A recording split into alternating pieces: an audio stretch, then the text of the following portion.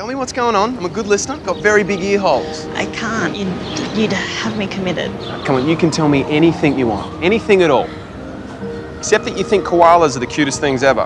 They have chlamydia and are actually quite hostile, so stay away from them. All right? Anyway, let's hear it. Okay. I hit my head really hard. And I woke up in this alternate universe. Okay.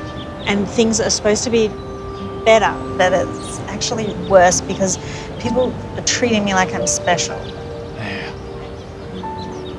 And I'm not special.